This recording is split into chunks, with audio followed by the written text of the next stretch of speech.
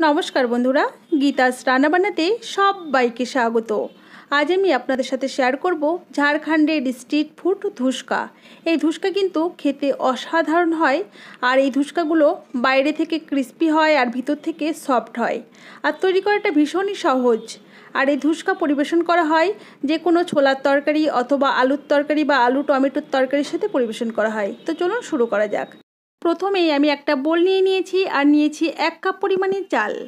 এখানে দুশো গ্রাম পরিমাণে চাল রয়েছে, এটা কিন্তু আতপ চাল। যে চাল দিয়ে ইডলি বা ধোসা হয়, সেই চাল এটা। এবার চালটা বোলের মধ্যে নিয়ে নিলাম। নিচ্ছি একশো গ্রাম পরিমাণে ছোলার ডাল। এখানে হাফ কাপ পরিমাণে ছোলার ডাল নিয়েছি। নিচ্ছি পঁচাত্তর গ্রাম পরিমাণে বিউলির ডাল বা কলাইয়ের ডাল। এবার এর মধ্যে দিয়ে দেব পর্যাপ্ত পরিমাণে জল। জল দিয়ে খুব ভালো করে কষলে কষলে ধুয়ে নেব।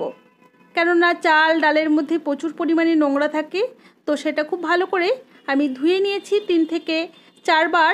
জল বদলে বদলে ধুয়ে নিয়েছি, এর মধ্যে দিয়ে দিচ্ছি আরও কিছুটা পরিমাণে জল। এই জলটা দিয়ে আমি সাত থেকে আট ঘণ্টার জন্য ভিজিয়ে রাখব। সাত থেকে আট ঘণ্টা পর ঢাকনাটা খুলে নিয়েছি। দেখুন, চাল ডালগুলো কত সুন্দর ভিজে গেছে। আমি একটা নখ দিয়ে কাটছি তো কেটে যাচ্ছে। তো এরকম সুন্দরভাবে ভিজতে হবে। না ভিজলে কিন্তু ধুসকা একদম ভালো হবে না। এবার একটা মিক্সিং জার নিয়ে নিচ্ছি।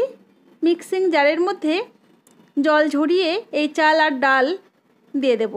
তবে এই চাল আর ডাল তো একবারে বাটা যাবে না। আমি তিন থেকে চারবারে এই চাল আর ডালগুলোকে বাটবো। এর মধ্যে দিয়ে দিচ্ছি তিনটে কাঁচা লঙ্কা। এখানে লঙ্কাগুলোকে আমি ভেঙে নিয়েছি। আর দিচ্ছি হাফ ইঞ্চি মতো আদা কুচি। এর পরিমাণ কিন্তু এইরকমই থাকবে। এবার অল্প করে জল দিয়ে একটা মিহি পেস্ট আমি তৈরি করে নিয়েছি। এবার এই ব্যাটারটাকে একটা বোলের মধ্যে ঢেলে নিচ্ছি।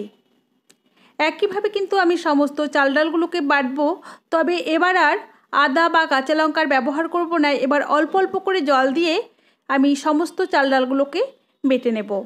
সমস্ত চাল ডালগুলোই আমার বেটে নেওয়া হয়ে গেছে আর এর ঘনত্ব কিন্তু এরকমই থাকবে। খুব বেশি জল দিয়ে কিন্তু চাল ডালগুলো বাটা যাবে না, অল্প অল্প করে জল দিয়ে এরকম ঘন করে বাটতে হবে।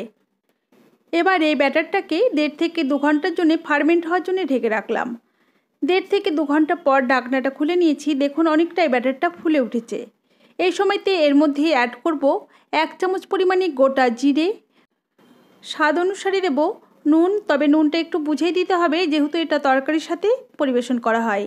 এক পিঞ্চ দিচ্ছি বেকিং সোডা, এটাকে কিন্তু আপনারা স্কিপ করতে পারেন, না দিলেও কোনো অসুবিধে নেই। হাফ চামচ পরিমাণে দিচ্ছি হলুদ গুঁড়ো, আর এক পিঞ্চ দিচ্ছি হিং।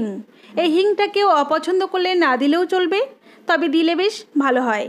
এবার এই সমস্ত উপকরণ একসাথে খুব ভালো করে প্রথমে মিশিয়ে নিতে হবে। মিশিয়ে নেওয়ার পর এটাকে চার থেকে পাঁচ মিনিট সময় ধরে খুব সুন্দর করে ফেটিয়ে নিতে হবে। এই ফেটিয়ে নেওয়াটা কিন্তু ভীষণই জরুরি। এই ফেটিয়ে নেওয়ার উপরে কিন্তু ধুসকাটা কতটা সফট হবে সেটা নির্ভর করছে। আর ফেটিয়ে নিলে ধুসকাগুলো কিন্তু খুব সুন্দর ফুলকো ফুলকো তৈরি হবে। খুব সুন্দর করে ধুসকার ব্যাটারটা আমার ফেটিয়ে নেওয়া হয়ে গেছে। আমি এর টেক্সচারটা দেখিয়ে দিচ্ছি দেখুন। ঠিক এরকমই কিন্তু থাকবে। এর চেয়ে কিন্তু পাতলা বা ঘন যাতে না হয় সেটা আমাদের খেয়াল রাখতে হবে।